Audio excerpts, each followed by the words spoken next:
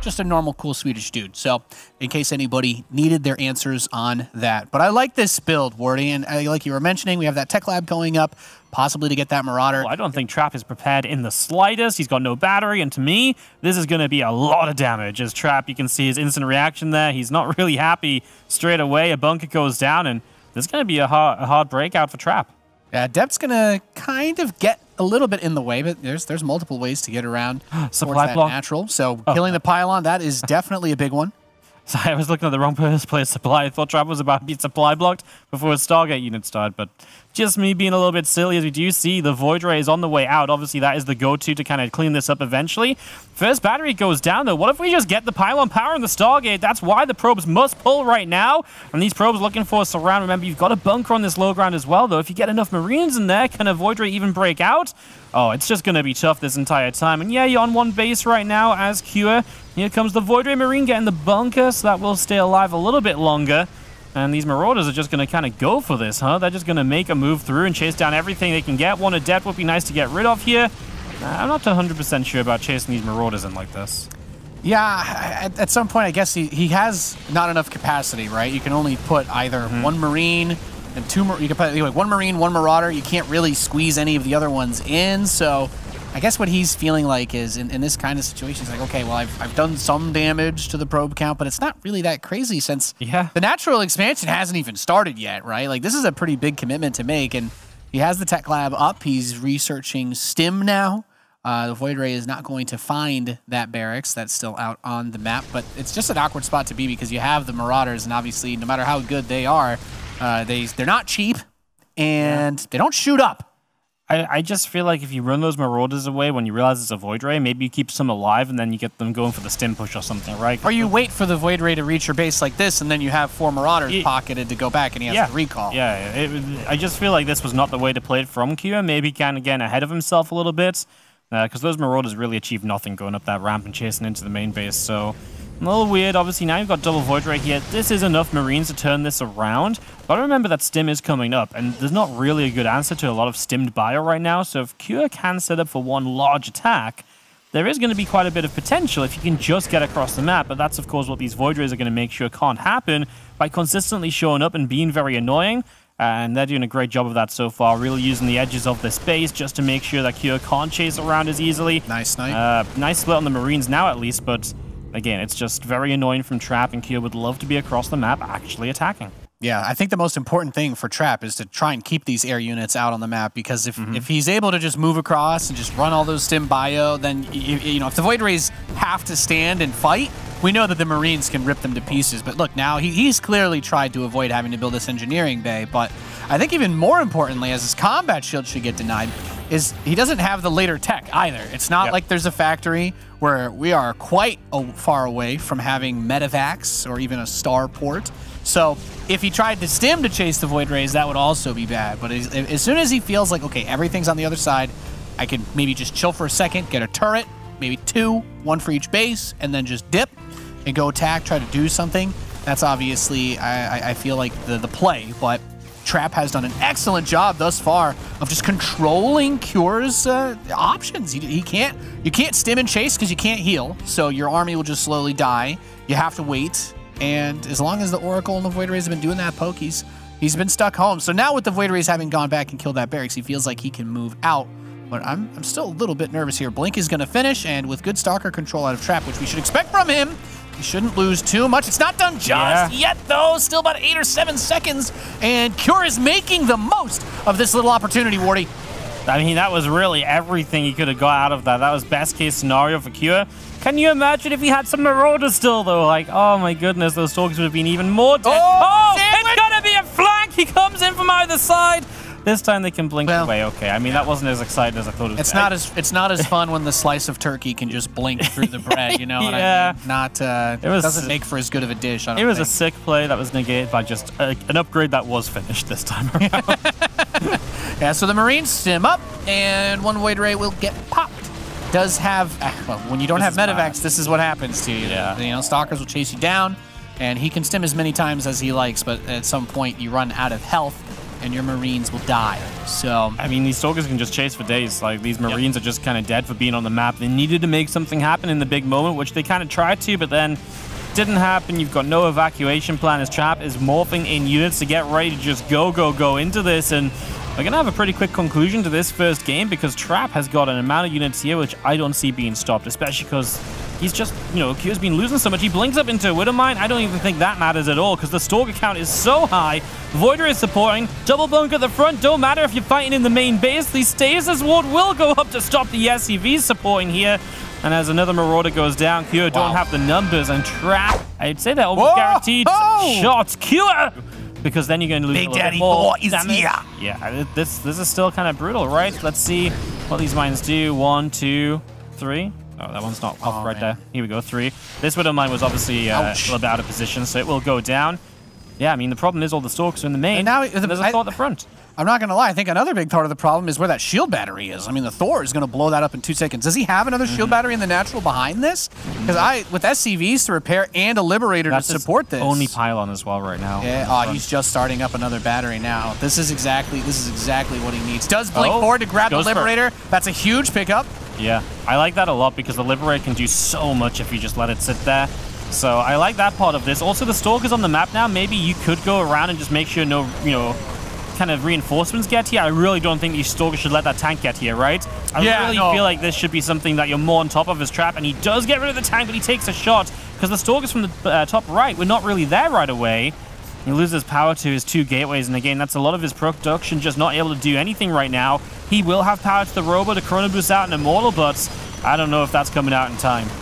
Now, It looked like he almost actually had a, a, mine go off that was towards that ramp earlier, too. The Thor is inside the natural. Of course, the Hellbat, it doesn't have that bonus light by default, but man, that cone spray of fire does a tremendous amount of work. Unable to get the Liberator before it sieges up here. This is big, because yeah. this Immortal is going to pop out right inside the Freedom Zone, and that means as this Robo gets picked off, the barrier gets popped instantly, will not be able to build any further supporting units for it, and that Thor is still standing strong.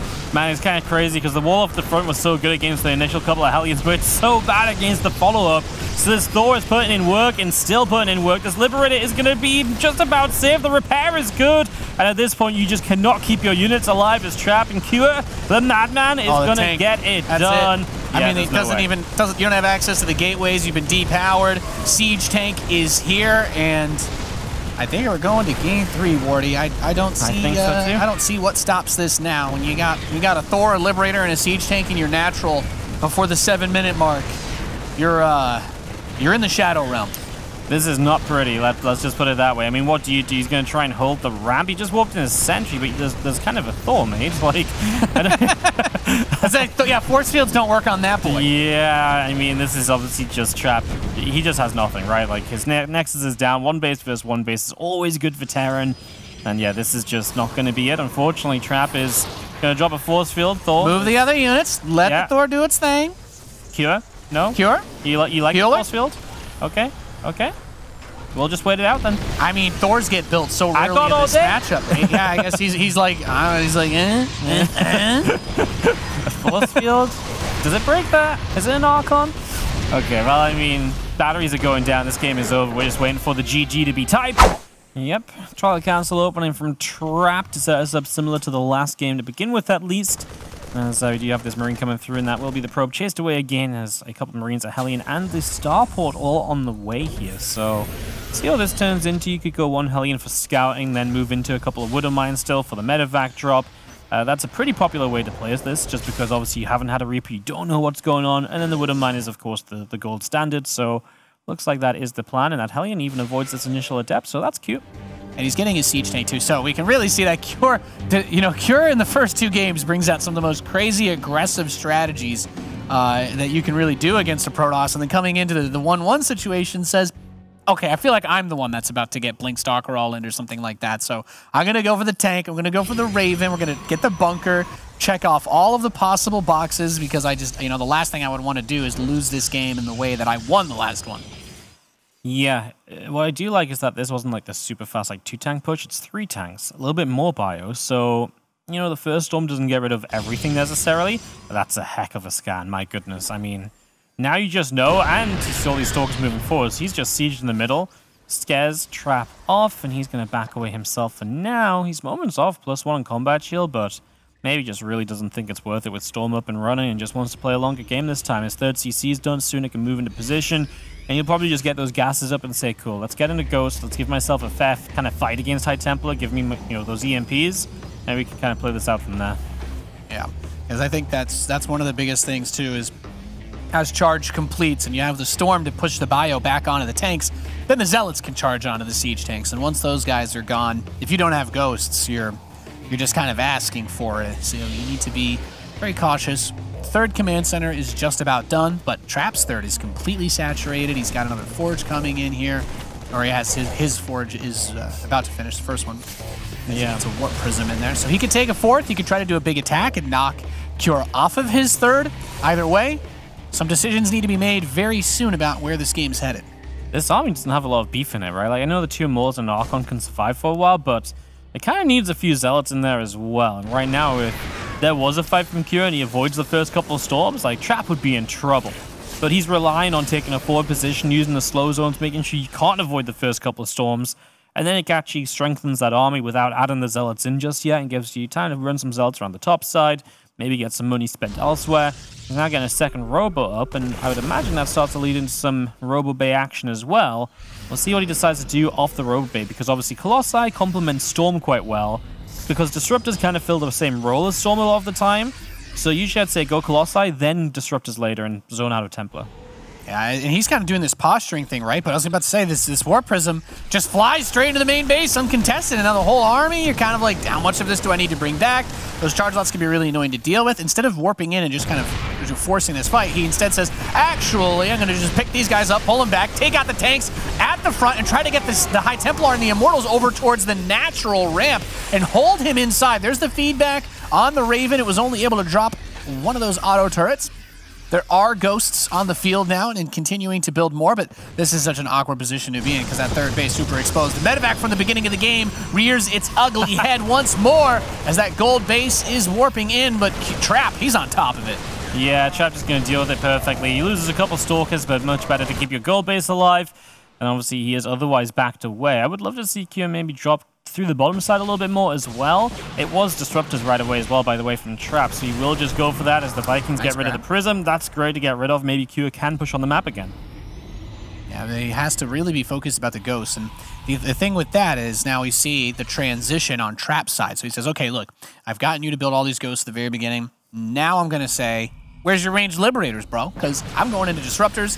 He's getting gravitic drive for the prism, so he's going to have the ability to maneuver these units around, and this becomes a very important window for Cure, as a few of those ghosts do get feedbacked, and he is able to take out some of the High Templar, but this is a really, really big moment. Huge Zealot Warpin's going to try and go back towards the third, see if he can pull him back. But as that disruptor count goes higher, those ghosts become a little bit more of a liability, don't they? Yeah, absolutely. It's um, difficult to keep them alive when the disruptors come flying through.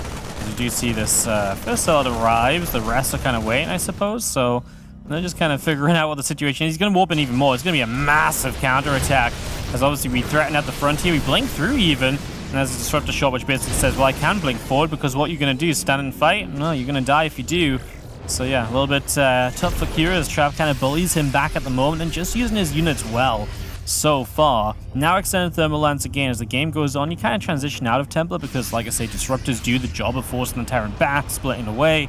So the Colossus becomes your kind of stable splash damage force. Uh, so nice to see that that is on the mind of Trap, at least making that transition as we get deeper into this. Yeah, I thought it was kind of interesting too, with the way that as that fight ended, he shepherded the army of Trap more towards the bottom side. So even though his army was kind of on the retreat, he didn't really expose or open up the third base. He's been able to keep his economy intact as such. But Trap's got that gold base. He's going for the northwest corner base. Extended thermal lance is being researched, and a Stargate is coming in too. So it, it becomes uh, you need to start actually getting some damage in. EMPs the probes to try and help blast him down a little bit more quickly. Yeah, this is dangerous, though, because there's potential just to be kind of stuck there for Cure. There's the Zealots finally saying, well, you're out of position, but the fight's going to break out top side right in a moment or two. Cure's going for some disruptors. Storm's coming down still. I mean, for now, Cure is okay, but there's the Zealots top left. That's what I was worried he's going to run into initially. Look at the workers killed, though. 25. Vikings come through, but too late. The Zealots already in the main. Oh. Widowmines are blowing up SCVs as they go after Zealots. 40 workers down and Cure. But it's a good thing you've got a bank, buddy, because you're not earning any money anymore. It's a bloodbath at the Terran players, natural in main and third. That that pylon in the northeast corner doing work. He's even gonna recall them. Says, yeah, I, I'm not. I don't. I don't view these units as expendable. Yeah.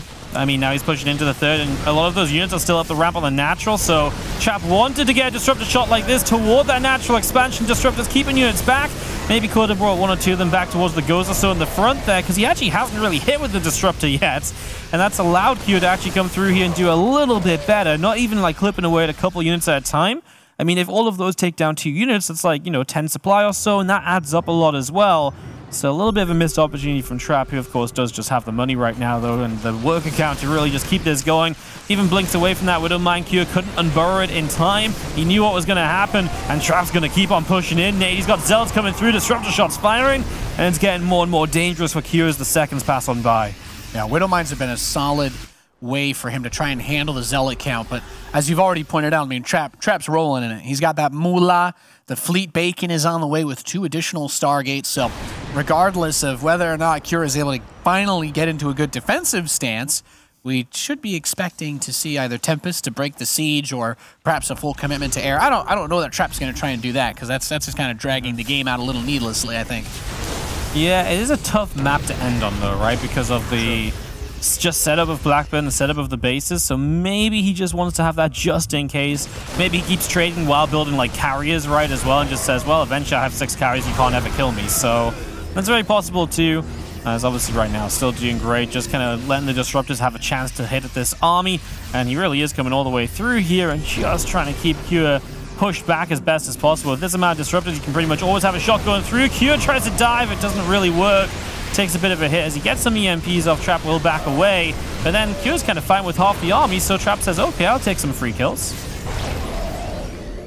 If there's one other thing, though, if I'm if I'm looking for windows of opportunity for Cure as he as well, eh, okay, those, those opportunities definitely feeling a little bit more difficult to find. It's, I'm like, okay, he doesn't have upgrades on the carriers, right? There's, he hasn't gone for attack upgrades. Maybe their damage output won't be as high as he needs, and that can burn into the supply issue, but with, with the number of disruptors that he's been able to retain, it, it doesn't really seem to matter too much. Oh, he doesn't see this Templar! Yeah, Storm is good. Doesn't get the second Storm off, though. Cure has a massive army. I mean, his army supply is big, so he has one big fight to try and do this, basically. And that's what this is looking to be right now. Here come the carriers already. A couple ghosts going down. Disruptor shots will fly multiple at a time because you just have that amount of disruptors you can allow to, you know, that to happen. Cure supply is dropping. Trap is the one that can rebuild off of this. Cure is not. So as long as Trap just weathers the storm here initially, the reinforcements should then clean up, and it looks like he's more or less there. He's going to lose a couple more carriers as Cure keeps pushing through, but again, you get an extra warping so you're good, but those disruptors didn't pull back soon enough, so that's a problem. Cure will at least get a base, but Trap still has 1.5k minerals and 1.5k gas to get an answer and an army up to fight this off. Yeah, I, I, mean that that's the kind of fight for for Trap where if you're all you had to do is when you when you started building that first Stargate, at least get plus one air attack. And yeah. I think I think things are quite a bit different. The bio having plus two infantry armor is really helped uh, reduce the efficacy of that supply. The interceptors kind of came out and they all just died. Wasn't really able to get too much done. And all of a sudden, Cure not only knocks that base off, but the third here as well under huge threat. Tons of probes being obliterated.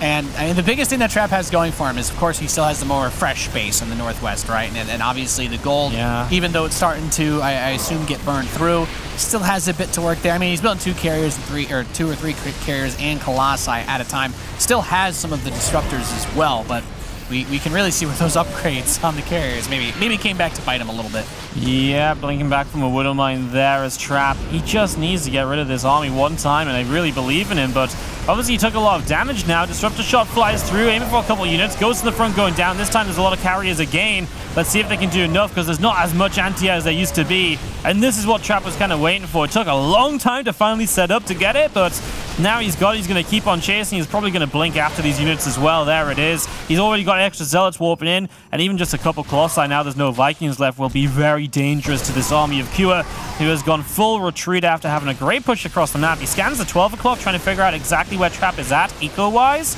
And he's going to say, well, maybe if I can just about hold on, but his army supply probably won't let him do it. Now, at this point, it's just the, the, the resources, right? The economy is what's going to carry Trap through this one. Cure did get a couple of great fights, but at the end of the day, was not able to...